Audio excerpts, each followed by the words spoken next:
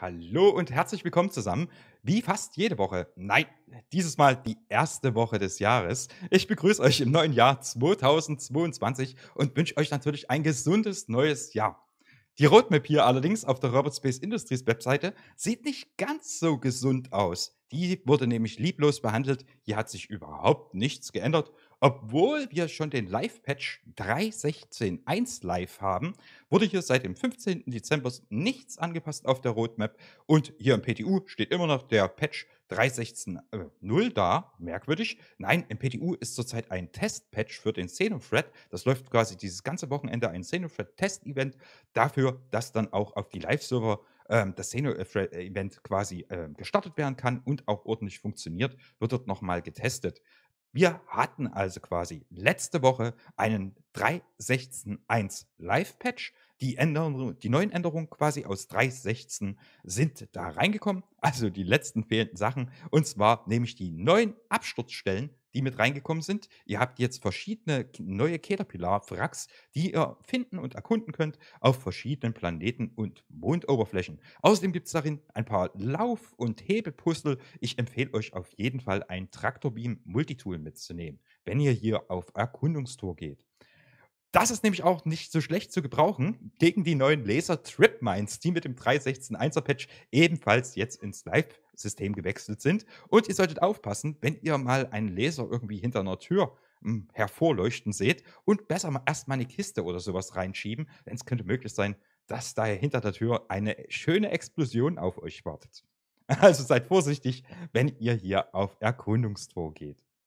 So sieht's aus in der Roadmap. Wir hatten noch kein Roadmap-Update, obwohl das doch für letzte Woche angekündigt war. Ja, CIG hat sich da entschuldigt. Leider gab es hier ein paar ähm, Schwierigkeiten mit der Roadmap. Man will auch noch einen neuen Guide für die Roadmap einfügen, der euch die Roadmap quasi ein bisschen besser erklärt. Ähm, ja, mal gucken, was es dann letzten Endes genau sein wird, ob es ein Videoguide oder ein Textguide ist. Das wissen wir quasi noch nicht. Ob es nur eine Ausrede war, wissen wir auch noch nicht. Wir wissen hoffentlich nächste Woche mehr über die Roadmap, wenn die denn dann Mitte der Woche, den nehme ich mal an, aktualisiert worden ist. Hoffe ich zumindest. Und dann werde ich euch nächste Woche natürlich hier auch die neuen Inhalte auf der Roadmap präsentieren.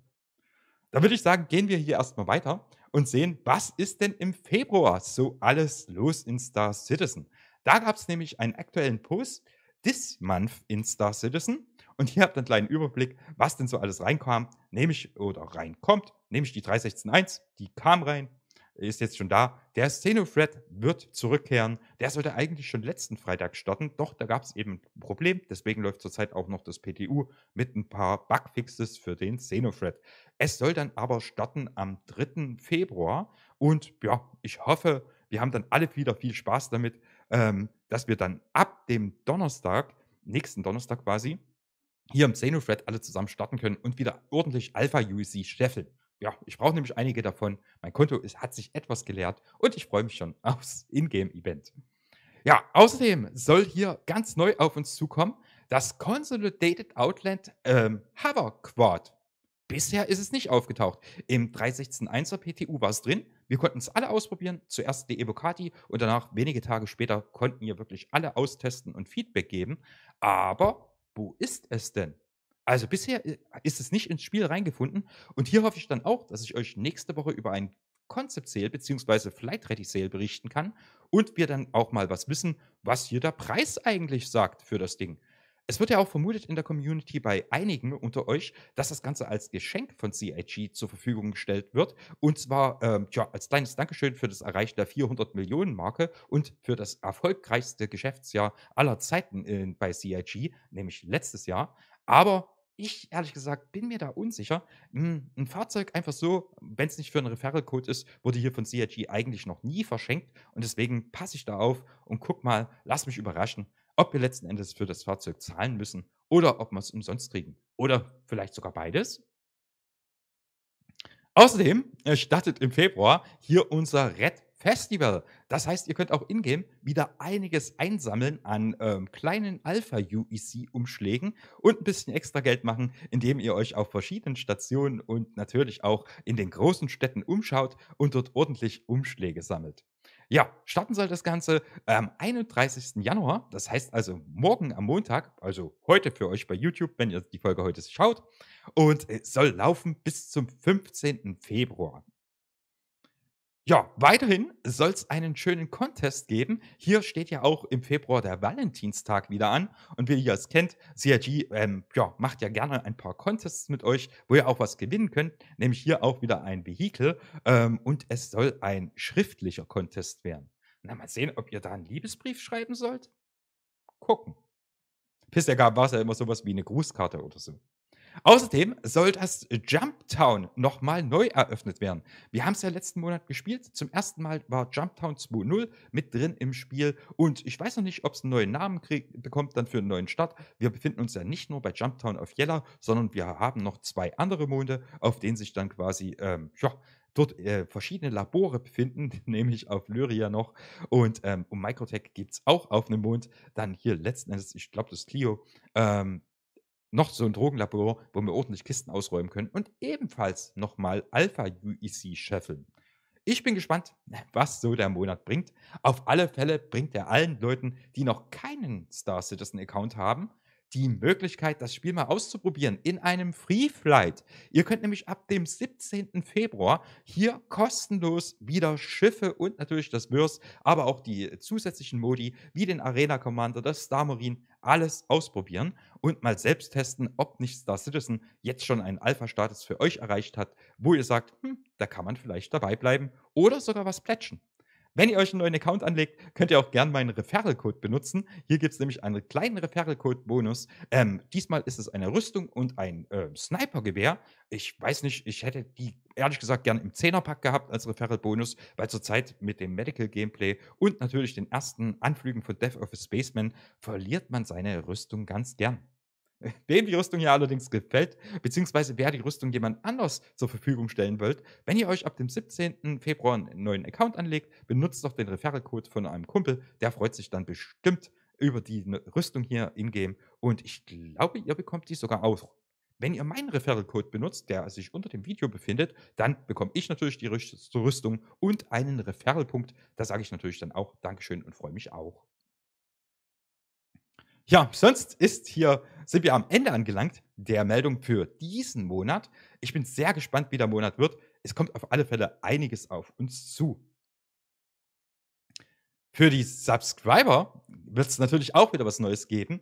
Im Februar gibt es hier ein was zum Knuddeln und Liebhaben. Einfach Plushies werden nämlich reinkommen. Ich schätze mal, dass alle äh, Centurion-Subscriber hier die C2 äh, als Plushie bekommen, als kleines Kuscheltier. Die M2, schätze ich mal, werden höchstwahrscheinlich dann die äh, Imperator-Subscriber bekommen, neben der C2. Die bekommen ja immer zwei Items, wenn ihr die große Subscription habt. Und alle im Store dürfen sich dann höchstwahrscheinlich für Geld das A2 Plushie, welches ihr hier links auf Bett seht, ja, eben doch gern zum Knuddeln ins Bett legen. Ich finde es eine ganz schicke Idee. Als Subscriber-Player ist es ganz okay. Allerdings ist es auch so ein bisschen runterholen nach dem letzten Hype-Subscriber-Flair, sage ich jetzt mal, weil das war ja ein Skin-Paket, welches eigentlich einen Wert von knapp 45 Dollar hatte, für ca. 38, 37 Dollar verkauft wurde, reduziert. Und da hattet ihr schon einen ordentlichen Brocken als Subscriber-Flair. Dieses Mal ein bisschen was kleineres, aber zumindest ist es plüchig. So, nach dem äh, Subscriber-Player werfen wir mal einen Blick in die Zukunft, in die weitere Zukunft, nämlich auf eins der neuen Hacking-Tools. Das äh, sehen wir hier, war im letzten Newsletter am äh, Freitag und der Text dazu war einfach nur Hacking out the Metaverse. Also ähm, das Metaversum hacken. Ich finde das eigentlich ein ganz cooles und gelungenes Tool, weil es auch sehr robust aussieht. Sieht auch so aus, als richtig für einen Außeneinsatz gemacht. So mit den, ähm, ja, mit dem Außengehäuse quasi. Sieht fast aus wie von so einem Mechaniker, ein Laptop oder solche Dinge, die speziell noch geschützt sind, weil sie dann doch mal runterfallen im Arbeitseifer oder irgendwo dagegen schlagen und dann doch nicht gleich kaputt gehen sollen. Ja, gespannt bin ich natürlich auf das Hacking-Gameplay selber, nicht nur auf das Hacking-Tool. Ähm, hier sehen wir schon mal das Tool dazu, finde ich ehrlich gesagt ziemlich gelungen. Im Hintergrund haben wir übrigens Hurston Security. Ich weiß also nicht, ob derjenige hier vielleicht sein Crimestead gerade hacken will. Ob das dann anders aussieht, ich bin sehr gespannt. So, und ich habe euch gleich noch ein zweites Sneak Peek mit rausgesucht, weil das ist nämlich auch ein besonders schönes. Das gab es in der Woche davor im Newsletter, im Freitags-Newsletter zu sehen. Und hier hieß es dazu, ihr könnt es vielleicht schon vermuten bei dem Bild, ähm, Yoho, yoho, a pirate's life for me. also so viel, ungefähr so viel wie Johoho, Piratenleben für mich. Ihr seht nämlich hier in das Cockpit, der Drake Corsair, an der ja jetzt angefangen wurde zu arbeiten. Das sehen wir dann später auch noch in den Videoinhalten. Und ähm, ja, hier haben wir schon so einen kleinen Einblick, wie das Cockpit denn dann aussehen wird. Erinnert mich auch wirklich sehr an die Caterpillar, an die ganze Cutlass-Reihe. Äh, hier hinten das Innenleben sogar noch an die äh, Harold zum Beispiel. Also hier kommt der Drake, Flair und Charme auf alle Fälle schon rüber, finde ich. Tja, wenn ihr es nicht so seht oder anders seht, schreibt es einfach mal in die Kommentare. Ja, und nach den stillen Inhalten kommen wir wie jede Woche äh, natürlich auch zu den bewegten, nämlich zu den Videoinhalten, die ganz neu die ersten dieses Jahres sind. 2022 hat jetzt auch hier bei CIG begonnen und neue Videos werden produziert. Hier ganz am Anfang, natürlich vom letzten Donnerstag, das Inside Star Citizen. Dieses hat sich ebenfalls nochmal mit den Wracks beschäftigt und wir konnten hier schon mal so ein bisschen einen kleinen Blick äh, auf zukünftige Wrackstellen beziehungsweise auf Wrack-Absturzstellen äh, äh, werfen, die jetzt schon im Game sind. Ihr seht, das Ganze sieht ein bisschen schöner aus, ein bisschen stimmiger und ähm, ja, nicht so einfach, wie wir bisher quasi die Wracks gesehen hatten. Hier soll natürlich auch noch mit weiteren Schiffen gearbeitet werden als der Caterpillar. Bisher wurden nur mit Caterpillar-Wracks gearbeitet, diese also quasi ins Wirrs einzufügen. Aber hier werden natürlich auch noch Starfarer kommen, Reclaimer und so weiter. Wir konnten nämlich auch schon ganz, ganz viele Concept Arts hier in der Folge und Visionen quasi der neuen Wracks ähm, begutachten. Und da scrolle ich doch mal schnell ein bisschen hin. Und da seht ihr, wie solche Wracks denn in Zukunft vielleicht sogar noch aussehen könnten und das auch in verschiedenen Biomen. Hier werden quasi verschiedene Konzept oder wurden verschiedene Concept Arts angelegt und hier spricht auch der Senior Concept Artist dazu, der passende für quasi unsere Absturzstellen. Ja, mit der Reclaimer sieht es besonders toll aus. Natürlich auch, wenn so eine Reclaimer verwittert ist. Wir haben ja auch Verwitterungszustände dann in Star Citizen. Und ja, ihr seht wie so ein kleines Lager drumherum. Finde ich schon echt nice. Oder hier die Reclaimer mit oben dem kleinen ähm, Landepad drauf. Ist schon nett gemacht. Gefällt mir gut. Ja, hier haben wir mal ein größeres Fach. Oder hier vielleicht mal in einem ganz anderen Biom, was, was wir bisher noch gar nicht in Star Citizen haben, nämlich Dschungel. Sehr schön gemacht. Man darf natürlich nicht zu viel Arbeit reinstecken, die dürfen nicht zu detailliert sein. Ähm, hat auch der Jared Huckabee nochmal in der Freitagssendung erklärt. Denn ähm, man soll natürlich nicht zu viel Zeit äh, für Details aufwenden, ähm, sonst äh, kommt man eben dazu, dass man ein Bild fertigt in der Zeit, wo man vier Concept Arts machen könnte. Aber es gibt auf alle Fälle schöne Ideen. Hier zum Beispiel auch eine Absturzstelle im Wasser, wo sich dann natürlich auch so ein bisschen ähm, Society gebildet hat. Die Leute, die, dort eben jetzt leben, nach dem Absturz. Sind schon echt schöne Sachen dabei gewesen. Hier seht ihr noch eine ausgebrannte Cutlass. Und äh, hier weiter hinten ein Bild, was mich doch sehr an The Mandalorian erinnert hat. Seht ihr das? Mhm. So, und der zweite Teil der Folge, der handelte sich um was, ähm, ja, was uns meistens interessiert. Das war nämlich der Sprint-Report. Da ging es mit jede Menge neuen Inhalten weiter, die nicht ganz so weit in der Ferne liegen, wie hier zum Beispiel das Pure of Heart Hospital für Lorwild, welches mit 3.17, dann der Alpha-Version 3.17 von Star Citizen, eben hier auch auf die Live-Server kommen soll. Hat schon ein bisschen 20er Jahre Flair hier, die Bilder von der Hürsten Family. Leichte Mafiosi-Anwandlung. Außerdem konnten wir auch schon in das Mercy Hospital sehen auf Levski. Ja, Delamar ist zurzeit zwar nicht in Star Citizen, befindet sich ja im Nyx-System, ist rausgewandert aus dem Stanton-System, aber trotzdem gibt es hier so ein paar Concept Arts, wie denn letzten Endes das Mercy Hospital in Levski aussehen soll. Auch schön, finde ich. Levski mochte ich immer. Ja, und dann kommen wir zu was, was nicht ganz so weit weg ist wie Levski, nämlich den Mining Gadgets. Die sollen dann ebenfalls in Alpha 3.17 äh, ihren Weg finden in die Spiele, äh, in die Hände der Miner. Und hier sehen wir auch so ein bisschen, wie das Ganze aussehen soll. Ihr kauft euch quasi erstmal so ein Mining-Gadget, ähm, packt es euch natürlich dann auch ins Inventar, zum Beispiel ins Schiffsinventar, wie der Gute hier das zum Beispiel gerade macht. Dann zieht ihr los mit eurer Prospektor, scannt einen Stein, guckt natürlich auch auf die Resistenzen und Instabilitäten hier auf der rechten Seite. Die sollen wir uns mal merken. Die verändern sich nämlich gleich. Hier habt ihr nämlich zum Beispiel gerade eine Resistenz von 0,18. Ja, dann müsst ihr euer Tool nehmen, hovert raus, macht ihr quasi ein EVA hin zum Brocken, wie Bruce Willis, bringt das ganze Ding an und müsst es auch noch konfigurieren. Hier natürlich auf verschiedene Eigenschaften, die der Stein eben gerade aufweist. Und ihr solltet mit eurer Skala hier hinten, mit dieser ähm, Waveform äh, Accuracy, über 90% steigen. So solltet ihr quasi das Mining Gadget konfigurieren und dann hilft es euch auch beim Mining-Vorgang. Sollte es beim Mining-Vorgang nicht zerstört werden, könnt ihr es auch wieder einsammeln, also nochmal rausgehen, EVA, und dann eben mitnehmen und wiederverwenden. Hier seht ihr schon, dass sich die Resistenz verändert hat, aber dafür eben auch die Instabilität besser geworden ist. Resistenz ist jetzt ein Stück nach oben gegangen dafür. Ja, alles hat halt einen Haken. ja, das war quasi der Teil hier zum den Mining Gadgets. Danach konnten wir einen Blick auf die neuen Cluster Missiles werfen. Und ich habe schon ganz genau rechts aufgepasst in der Raketenanzeige, ob es denn die Rattler-Raketen sind, die wir ja eigentlich schon im Spiel haben und früher mal gerne genommen haben. Nein, sind es nicht, die heißen anders. Keine Rattlers. Außerdem, neben den Cluster-Raketen ähm, sollen natürlich auch die Clusterbomben ins Würst kommen. Daran wird gerade gearbeitet und hier die ersten Tests gemacht. Noch funktioniert das nicht ganz so stimmig, weil nämlich eine Bombe auch unter anderem mal eine andere ausschaltet, die danach rausgeworfen worden ist. Aber ja, wird sicherlich immer besser mit den Tests, die hier voranschreiten bei CIG und mit den Arbeiten natürlich an den Clusterbomben.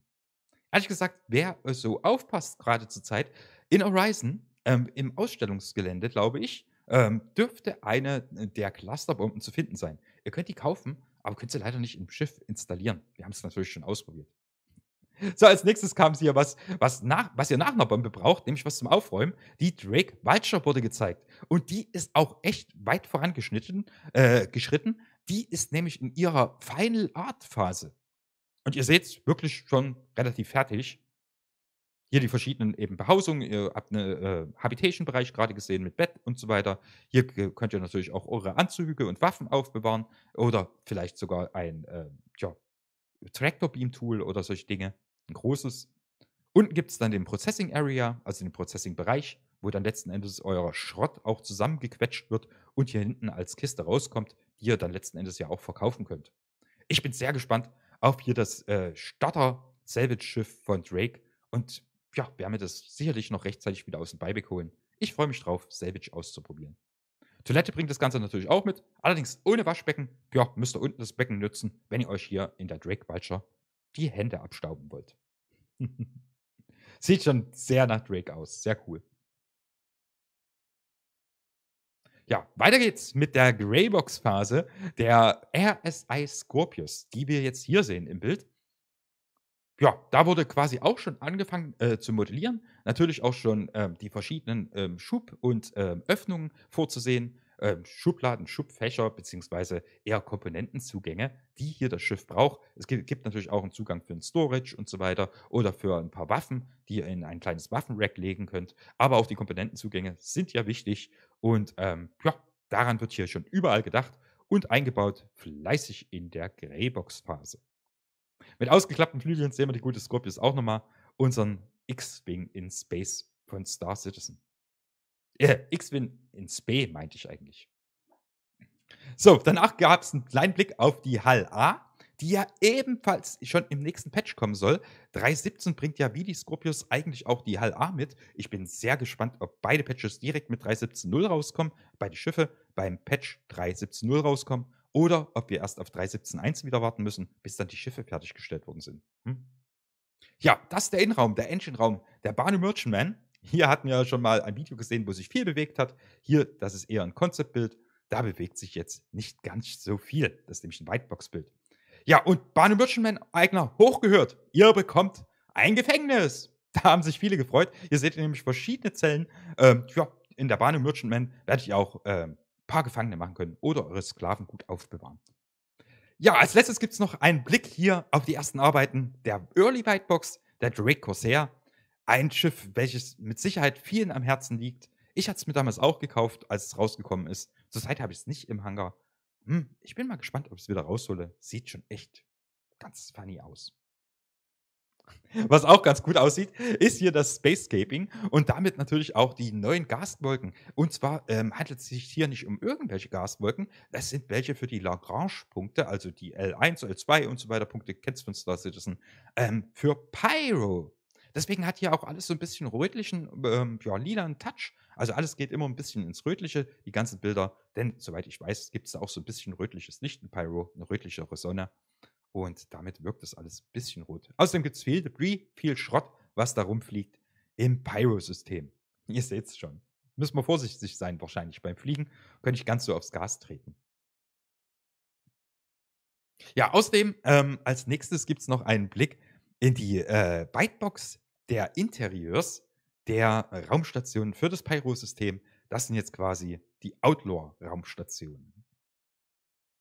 Ebenfalls natürlich noch alles ähm, in Arbeit begriffen, kann sich natürlich immer noch ein bisschen was ändern. Ja, aber so ungefähr kann es aussehen. Oh, also so sieht es hoffentlich nicht bei, bei euch im Elektroraum aus. Zu Hause, hoffe ich. Ja, nachdem wir einen Blick in die Interieurs werfen konnten, hier auf ein paar Konzepts, ähm, konnten wir sogar noch einen Blick auf die Exterieurs werfen, beziehungsweise auf ein Exterieur einer der Raumstationen für das Pyro-System und das dann eben gleich verbunden, hier im Hintergrund mit den neuen Gaswolken und schon so ein paar Wettereffekten, sieht schon ganz anders aus als in Stanton, oder? Freue ich mich auf alle Fälle drauf. Ist natürlich noch unfertig, die Station. Hier gibt es viele Stellen, die fehlen, wo Texturen quasi fehlen, wo die Hangars noch nicht richtig fertig sind und so weiter. Ist jetzt auch gerade, wo es auf den Hangar zugeht, dass hier natürlich irgendwie Bereiche sind, die noch nicht fertig sind. Aber es wird eben schon dran gearbeitet an den Exterieurs. Und das ist doch schon mal gut. Ich bin gespannt auf alle Fälle, ob Pyro dann auf dem Patchkarte nächste Woche auftauchen wird im Release View. Ich glaube ehrlich gesagt noch nicht dran, dass wir auf unseren, ja, auf unsere Roadmap und Patch-Überblick quasi die 4.0 bekommen. Aber ich bin gespannt. Mal sehen, was nächste Woche rauskommt. Ja, was rausgekommen ist auch im nächsten Videoinhalt, der letzte für diese Woche, der nämlich auf Twitch gelaufen ist, war das Star Citizen Live. Und hier ging es dann nochmal um die neuen Absturzstellen und ganz im Speziellen um das Konzipieren einer eines Konzeptarts für eine Absturzstelle. Ja, hier war quasi auch wieder Senior Concept Artist Fred Dupere zu Gast, den wir gerade eben schon in dem Inside Star Citizen gesehen hatten, ganz kurz. Und der hat sich hier mit dem Jared Huckabee ja, vom Scratch an, also vom wirklich vom Grundhaus auf, ein neues Konzept äh, einer Absturzstelle überlegt. Und ich scroll jetzt hier mal so ein bisschen durch. Dann seht ihr den Werdegang im Schnelldurchlauf. Gab nicht so viele Informationen in der Folge. Eher natürlich, wie man jetzt hier dran arbeitet, Photoshop einsetzt, beziehungsweise letzten Endes sich ein schönes Bild macht von so einer Absturzstelle. Und das dann letzten Endes auch ein bisschen umsetzt. War schon echt cool. Hier gab es quasi dann das neue Konzept zur Absturzstelle schönes Bild. Und vor allem wurde auch darauf hingewiesen, dass es mal ein Konzeptbild äh, ist, welches nicht aus dem Gesicht von äh, Jared Huckabee aka Discolando geformt worden ist. Da hat er sich gefreut, weil es war nämlich nicht der Jeremiah Lee zu Gast, aber der ist in den letzten zehn Minuten dann doch noch aufgetaucht, nachdem er quasi seine Besprechung hier fertig hatte. Und in den letzten zehn Minuten, die hat ihm der Arbeitstag auch noch gereicht, um den Jared Huckabee aka Discolando hier ein bisschen zu trollen. also das Ende war natürlich wieder ziemlich lustig, weil wenn der Jeremiah Lee und ähm, ja, der Discolando aufeinandertreffen, wird es eh immer lustig. Und ähm, ja, ich glaube, der Discolando hat auch schon Angst, dass hier der Jeremiah Lee die anderen Concept Artists so ein bisschen mitzieht auf seine äh, Linie, um den Discolando zu verhunepiepeln. ja, gucken wir mal, wie es nächste Woche hier weitergeht. Was es dann letzten Endes für Themen gibt für das Inside Star Citizen und für das Star Citizen Live. Für diese Woche war es das mit den Themen, war es das mit der Zusammenfassung. Ich wünsche euch eine schöne Woche, bleibt auf alle Fälle gesund, passt wie immer auf euch auf, auf eure Lieben. Guckt vielleicht auch mal bei Twitch vorbei. Die Links findet ihr alle unten. Bis bald und bleibt gesund. Tschüss.